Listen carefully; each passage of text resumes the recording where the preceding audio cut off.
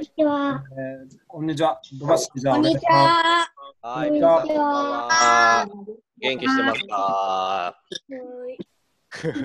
今日ね、えっ、と、前回に続いて、前回は松本山雅のキーパーやってやってる田中健吾さんに来てもらったんだけど、え昨シーズンまでパルセイロでキャプテンもやったりとか活躍をしていたセンターバックの大島貴弘選手に今日来てもらったので、皆さん拍手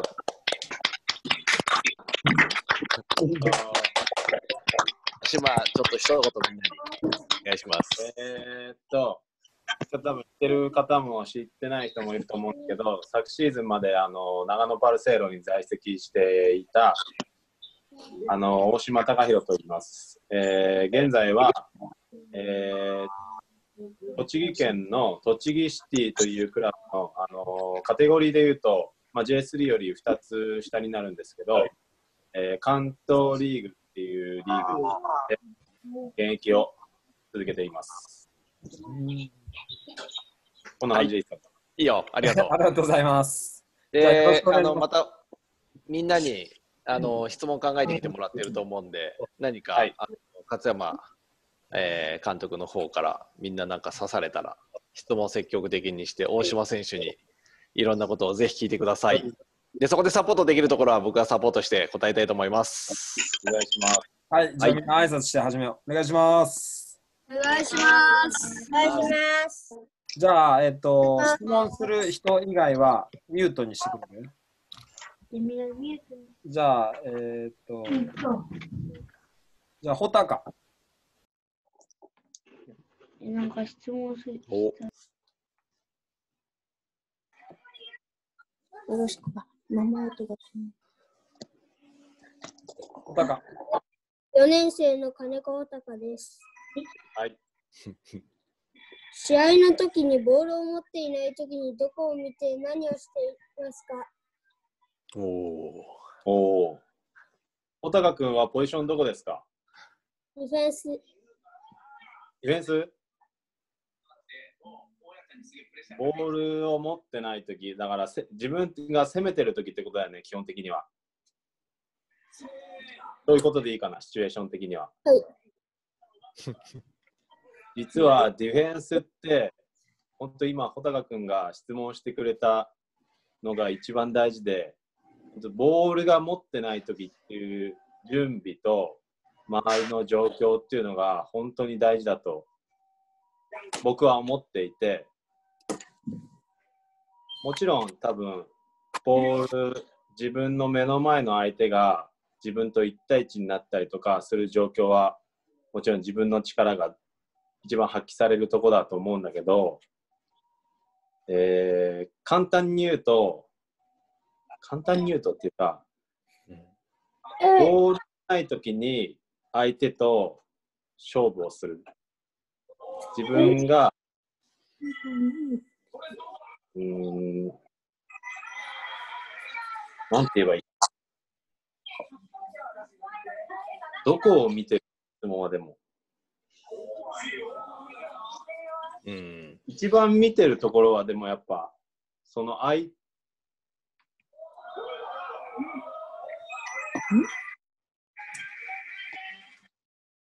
島声が入ってない。あ入った。大丈夫ですか？大丈夫大丈夫今入っうん入った。今今の全部聞こえてなかったですか、うん、聞こえてた、途中まで。今一瞬切れた。あ、すいません。うん。あ見てるとこっていうことで言うと、相手選手の目線と、あとは自分がマークでししてるであろう近くのフォワードの選手の周辺のスペースかな。周辺のスペース難しいね。難しいね。なんていけど、いや、けど、でも、それもすごく大事で、ってことは、多分みんながそのポジションにディフェンスに入った時にボールがない時に今大島選手が答えるのが大変だってことは見るものがたくさんあるっていうことだよね。で考えることもたくさんあるっていうことだから今大島選手が言った相手を見たりとかスペースを見るっていうこと、いろんなものを見て、頭の中に入れて、相手と駆け引きをするっていうことだね。で、一番大事なのはやっぱり、いつボールが来ても、いい対応ができるように準備をしておくってことだね。見るっていうことはいい準備をすることの、えー準備の一つだからね。だから、見て、認知するっていうことだね。はい。さすが。ありがとうございました。こちらこそ、こちらこそ勉強になりました、今。言葉でやっぱ、言葉にするのって難しいっていうのは、はい。なかなか選手でもないでしょ。こうやってねねそう、伝えていくっていうね。伝えるのはやっぱ難しいですね。うんうん。いいんじゃない？いい勉強です。いい勉強っす、今の時間。はい。ありがとうございます。ホタカ大丈夫 ?OK。じゃあ、ゆうたろ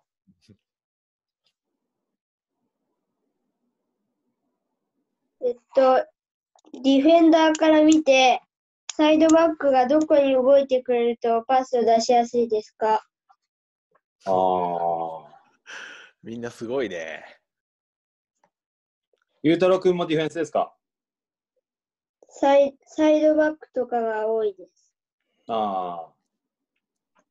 ゆうたろうくんは、どんどんボールを触りたい選手ですか？それとも、走って使われたい選手ですか？ボール触りたい。触りたい。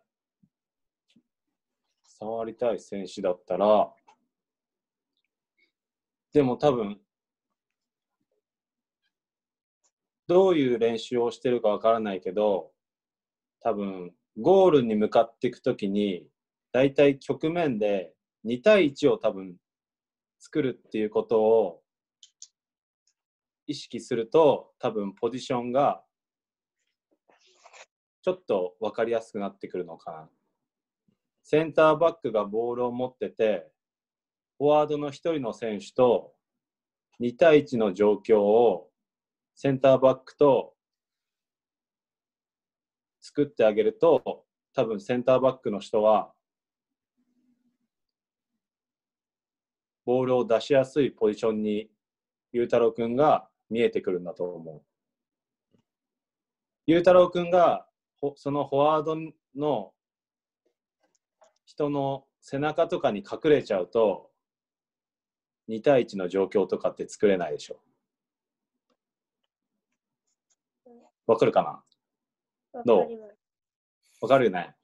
だ多分うんセンターバックとパス交換をするときもそうだし、ボランチの選手とパス交換するときもそうだし、サイドハーフの選手とパス交換するときもそうだし、多分2対1の状況を作れるようなポジショニングを取ってあげると、ボールを持ってる味方が多分出しやすいパスコースになるのかなと思う。わかりました。小林選手、はい小。林コーチ、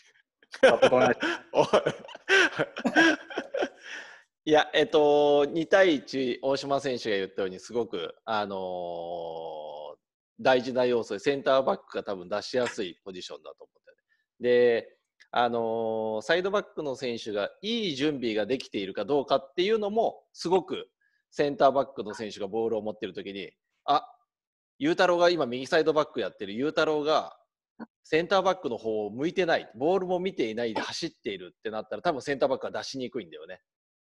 だから、ゆうたろうが右のサイドバックやってて、いい準備ができて、大島選手とアイコンタクトでも目が合ってる、いつでもパスがもらえるよっていう、いい準備ができてるときは、間違いなくパスが出しやすいんだと。まずは、えっと、サイドバックの選手はいい準備をする。その中で2対1の状況を、ボールを受ける前にポジショニングを取って、いいポジションでボールを受けて、センターバックからパスを引き出してあげるっていうことだね。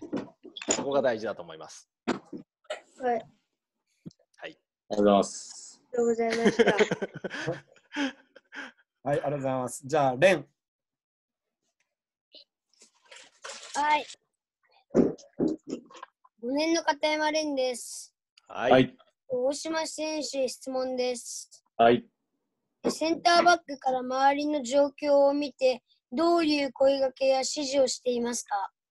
おおーこれはね、本当いい質問で、多分キーパーとかも、多分聞いたことあるかもしれないけど、あのボールを触らないキーパーがいいキーパーだとかって言われたことあるかな。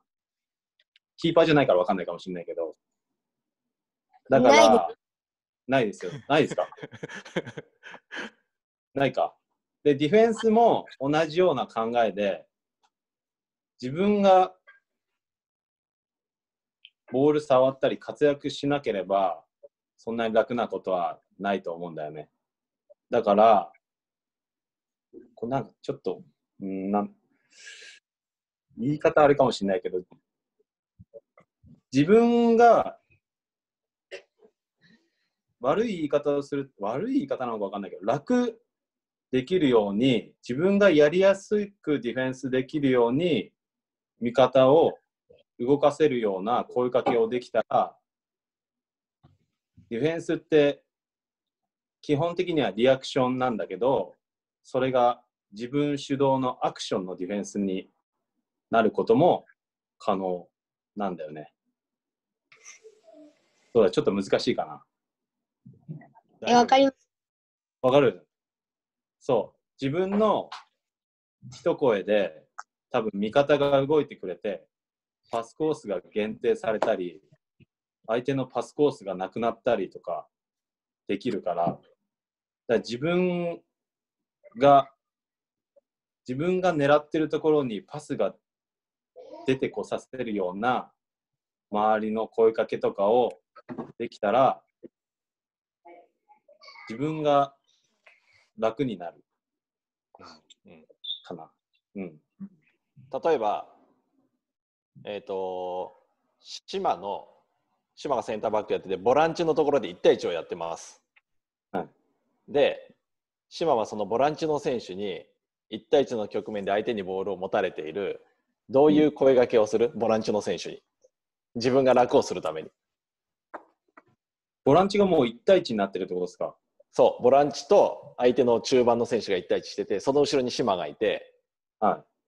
で、島のところにフォワードがいて、まあ2対2の局面みたいな感じ。ああ、真ん中、そうそうそうそうそう。で、島が具体的にそのボランチの選手に指示を出すとしてしたしたら、どんなような指示を？縦を切れ。うーんなぜ、そうすれば、うんまあ、まっすぐな直線だったら、そのフォワードのコースが1個なくなる。うんからうんうん真ん中で言ったら。うんうんうんってう今みたいな指示だね。縦を切ったら、要はゴールから遠ざかる。遠ざけるように横にパスをさせる。そのために自分のところにパスが入ってしまったら、ピンチになるから、ボランチの選手に縦を切れって言って、横に行かせるってことだよね。はい。うん逆によっぽど自分がもうインターセプトこれはできるなと思ったら、うんそこにパス出させる声かけでもいいかもしれない。うん。だ結局自分がそう楽になるような、いい状態でボールが奪える局面を作るために、そういう指示を出すってことだよね。はいはい。大丈夫かな？レンは。はい。いいですか？あの、じゃあ攻めてるとき、味方のチームが、大島選手と同じチームメイトが攻めて攻撃してて押し込んでるときは、守備の準備でどんな声かけしたりしてますか、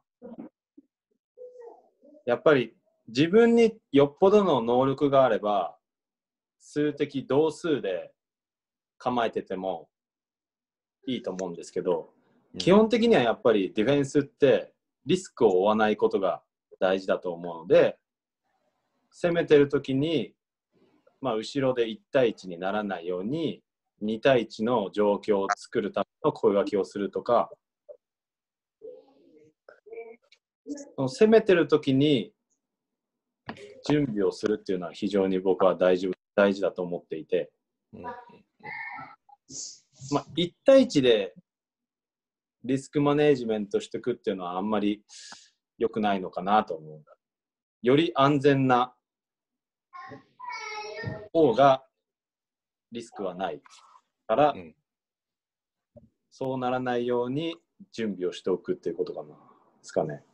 ありがとうございます。もうじゃあもう一個、逆はにめちゃくちゃ押し込まれてるとき、こう防戦の試合になってるときに、はい。押し込まれた展開が多いときは、どんな声かけをしたりしてますか？押し込まれたときは、やっぱやられてる感っていうのを、やられてるって思うか、ボールを、ボールを持たれてるって思うか、ボールを持たしてるって思うかっていう、その精神状態も大事だと思うんですよね。うんやっぱり苦しいとは思うんですけど、最終的に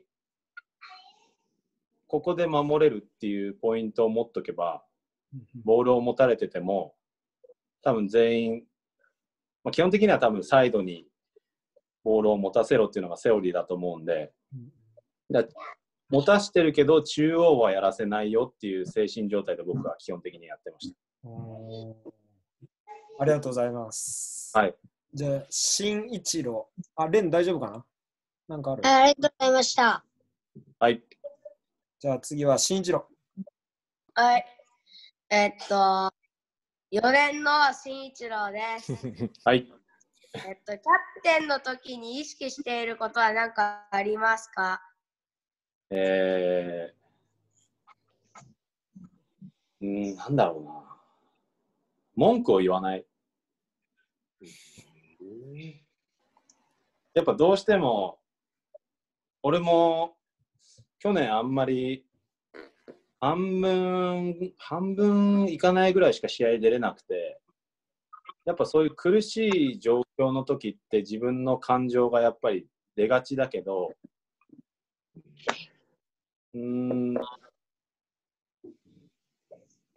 感情を抑えろっていうことじゃないけど、まあ、とにかく文句を言わない。なんか、結局自分次第でどうにか、どう、どどうなるかっていうのは決まるから、やっぱ相手の、あい人のせいにしないっていうのは大事かなと思って意識してやってました。常にどんな状況でも自分次第でどうにかなるっていうことを意識してやってました。はい。どうか。はい。大丈夫ですか？えっと、あともう一つ、はい。あの、YouTube 見たんですけど、ゴールシーンの。ヘディングのゴールシーンが多かったんだけど、ヘあディングあ、を意識してることってありますか？ヘディングね。意識、意識してることか。ちなみに、島ははい。いつからヘディングが強くなったの？俺、小学校からもう強かったっす。あ、そうなんだ。で、大島選手は、えっと、アンダー10いくつから日本代表？14からっすね。14、アンダー14から日本代表で10いくつまで ?8?18 18っすね。までずっと日本代表に入ってて、もうその頃ずっとヘディング強かったの？ずっと強かったっすね。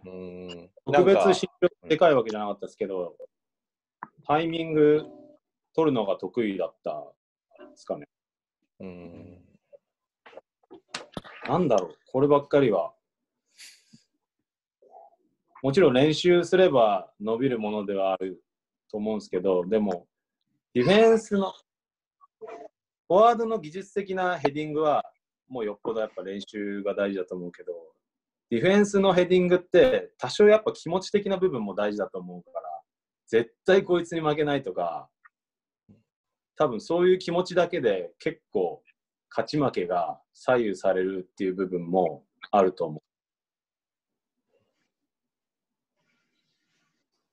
もちろん技術的なタイミングとか、いつ飛ぶとか、どこに当てるとかあるけど、やっぱその絶対負けないっていう気持ちが本当に大事かなっていうのはある。それだけで本当にちょっと飛べる距離とかも変わってくると思う。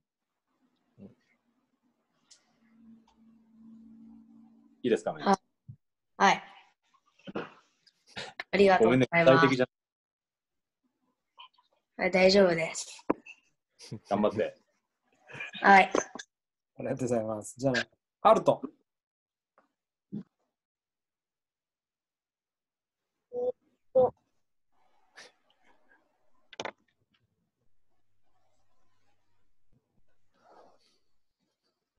ちょっと待ってください。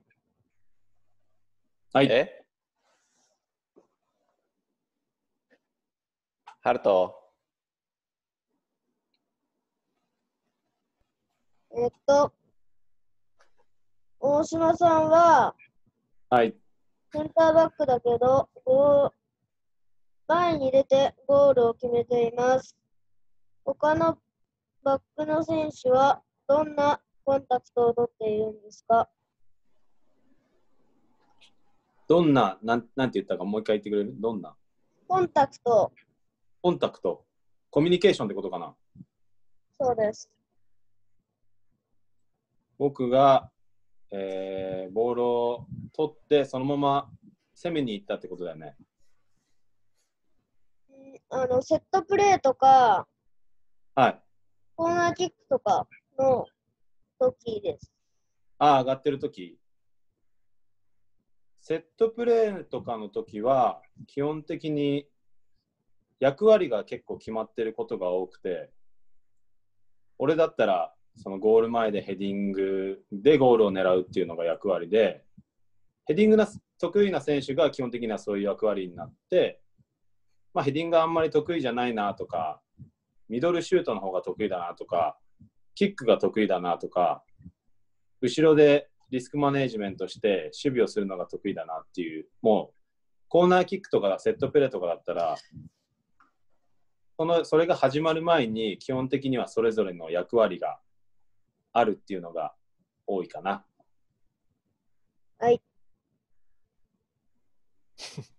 えありがとうございました。あともう一個あるんですけどいいですか？はい。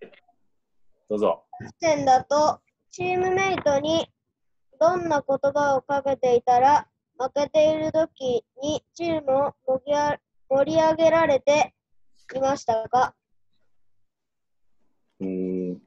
これもね、さっきと一緒で、ちょっとメンタル的な部分になっちゃうんだけど、俺は試合とかで、そう一人で試合を決めれたり、局面を変えれたりするような選手じゃないから、やっぱ本当一生懸命やるとか、その戦うとか、そういう部分でやっぱ見せるしかないから、で自分の俺のプレースタイルで言ったらヘディングが得意だからヘディングは絶対負けないとかやっぱそういう自分の仕事を一生懸命するっていうことがやっぱチームメイトに何かその鼓舞するような視線に見えたら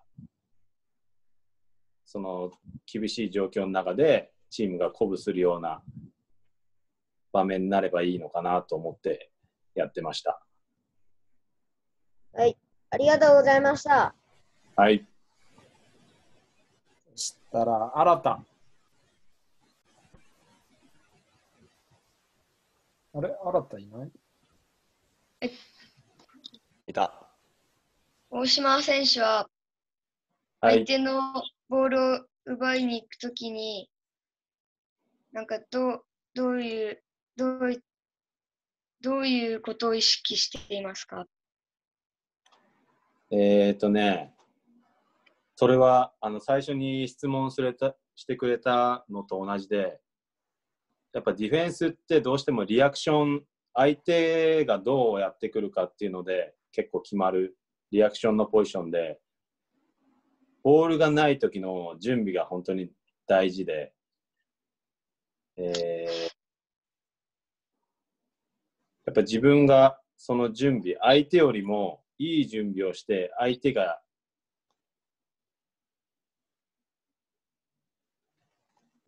相手がな、うん、ちょっと待ってね。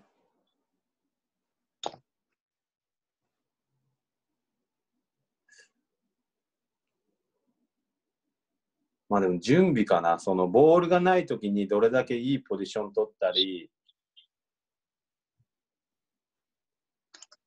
いい駆け引きをできたりっていうするのするのが大事かな。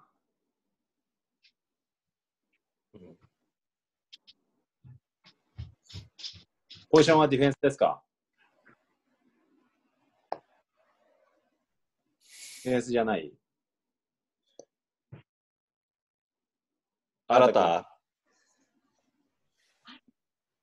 まあ、いろいろ。いろいろ。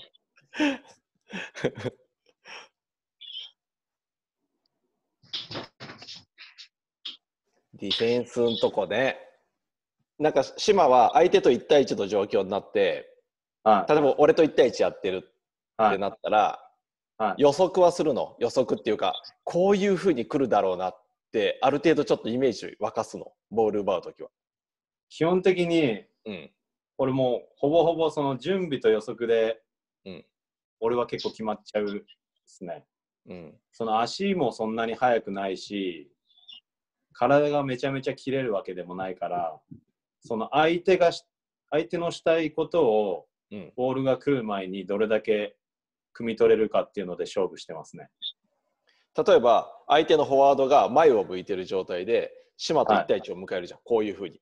はい。で、攻めてきて、これ、こっちが島だとしたら、いい状態でドリブルしてきたら、島はどういうふうに、何を考える？対応としたら。そのどこで1対1してるかにもよりますね。うんうんうんそれが真ん中なのかサイドなのかにもよるんですけど、うん。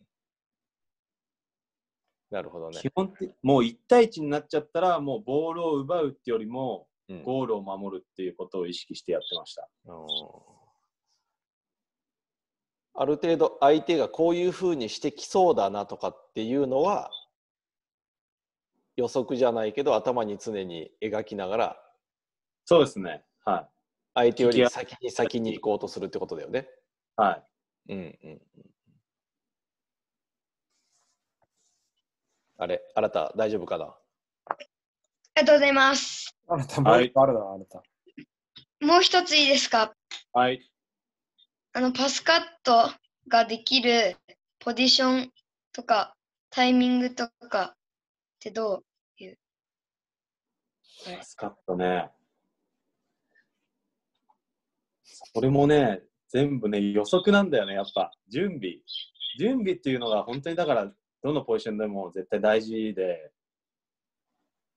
どこにパスが出そうかなっていうのを、やっぱいろんな情報を見て、感じて、もうここに来るっていうような予測と状況判断。難しいな。なんて言えばいいんだろうな。いや、あいやあの分かりやすい、大丈夫だよ。はうん。い。もちろん、背後を取られるのが一番嫌なんだけど、相手の、相手が背後にこれはもうパスは出てこないなっていう状況になったら、思いっきり多分いけるから、インターセプトができる状況になると思う。それは多分自分一人じゃ、インターセプトって、まあもちろんできる場面もあるし、基本的にはチームが連動してこそインターセプトの場面が増えてくるから、その、難しくなっちゃったんですよ。大丈夫ですか？大丈夫、大丈夫、大丈夫、大丈夫だよ。だからもちろんディフェンスの人がインターセプトするには、フォワードの人も中盤の人も全員が連動して一つのインターセプトが生まれることが多いから、ディフェンスの人だけの問題ではないから、やっぱ攻撃も守備も、やっぱ11人が生み出すものが多いっていう。うんそのうちの一つがインターセプトだったり、まあ、スルーパスだったり、いろんなことがある。うんかなうんだからそうやって考えると、今、大島選手が言ってくれた、みんながさっき質問したけど、見ることってすごく大事だよね。見る、予測する。で、声で周りの選手を動かせて、で、自分が楽な状態でボールを奪えるっていうことだよね。うん。ボールを奪うためにじゃあ何が必要なんだって言ったら、今度見ることが必要だね。さっき言ったけど、見ることあ。周りの選手を動かすことだよね。で予測することっていうのが入ってくるとインターセプトにつながるよね。はい。だそれがすごく大事なんだと思う。いい準備、はいい、いポジションを取るっていう。見るっていうところから始まるね。ちなみに、連動して、はいフォワードから中盤から連動して、パスカットできるってなったときは、どういった立ち位置を取りますか、はい、自分のマークに対して。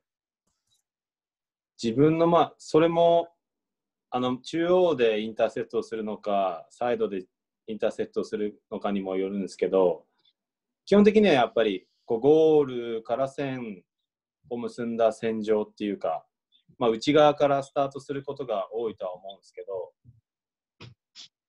味方がサイドでインターセプトする場合に関しては、えー言葉で言うのむずいな。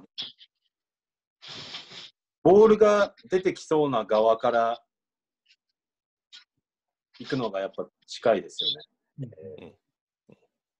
うん、な中がセオリーだけど、中側から行くのがセオリーだけど、サイドとかによっては、ボールが出てくるサイドから、外側から立っちゃう時もあるっていう感じですか？あります。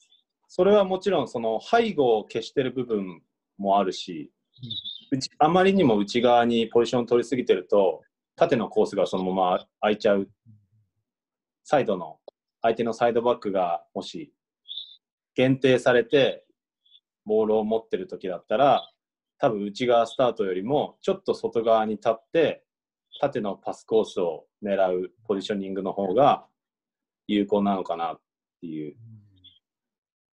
ありがとうございます。はい。と、誰だっけ新ただっけ？大丈夫かな？ありがとうございました。はい。じゃあね、勇気。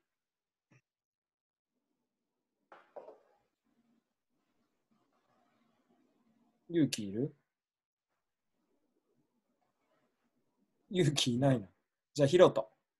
え、いるえ？あ、勇気か勇気いるじゃん。勇気いる。大島選手に質問です。はいプロになるまでどういう練習をしていましたか？そっち？プロになるまで、僕はあの、柏レイソルっていう下部組織に中学生から入ってたんだけど、結構僕が監督だった人は結構ゲーム形式の練習が多くて、その局面の練習よりも結構ゲームの中で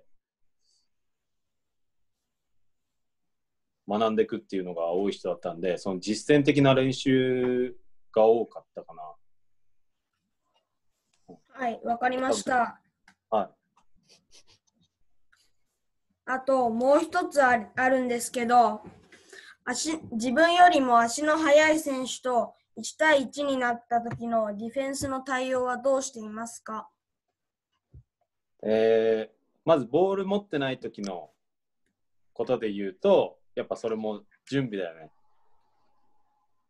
自分と同じぐらいのスピードの人だったら、同じぐらいの間合いでいいけど、めちゃめちゃ速い人だったら、ちょっと離れて準備した方が安全だから、そういう間合いの取り方をします。はい、でも、ボールがオンになって、相手がもうドリブルスタートしちゃったら、これはもうね、あのー極論で言うと、その入った瞬間に潰せなかったら、もう本当に遅らせるしかないと思う。よっぽど相手の方が速くて力が勝ってたら。遅らせて、どうにか2-1を作るか、まだ今、その商用学校4年生だから、やっぱチャレンジする方が大事だと思うから、今は安全な1対1をするよりも、やっぱ1対1の練習を積んで、自分を強くするように、間合い自分の間合いを練習で覚える方がいいかな。はい、わかりました。はい。ありがとうございます。じゃあね、キラ。えーっと、6年の高見沢明です。はい。えーっと、どんなプレースタイルのフォワードが嫌ですか？えー、僕はね、ちっちゃくて、すばしっこい選手が結構苦手でした。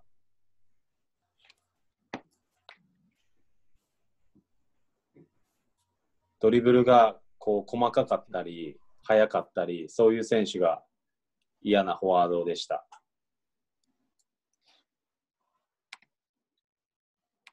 他にはありますか？他は、なんだろうね、やっぱゴールに対して貪欲な選手は、最後ゴール前で守ってて嫌かな。なんかどうにか点取ってやるとかっていう選手は、そこでも足出してくるかとか、頭出してくるかとか、油断できない選手。ゴール前に貪欲な選手は嫌です。ありがとうございました。はい。じゃあ、カズマ。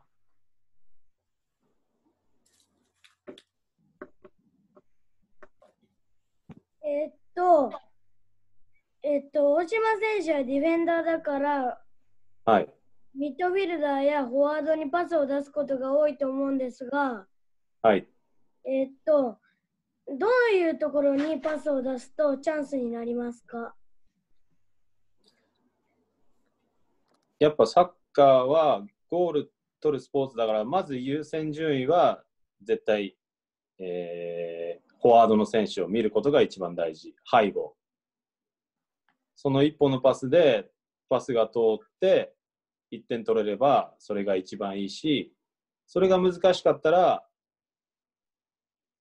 もっと近くの選手にパスを出せばいいし、やっぱいつでも優先順位は一番前を見ることが大事だと思う。まずはそれをチャレンジして、でも、うん、ミスを減らすことも大事だから、より安全なパスをすることも大事。ボランチを使ったり、サイドバックを使ったり、状況に応じて。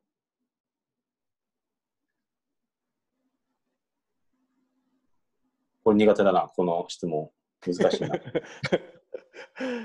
難しいね、確かにね。難しい。そのうん年齢とかもあるし。わかる。かつ、はい。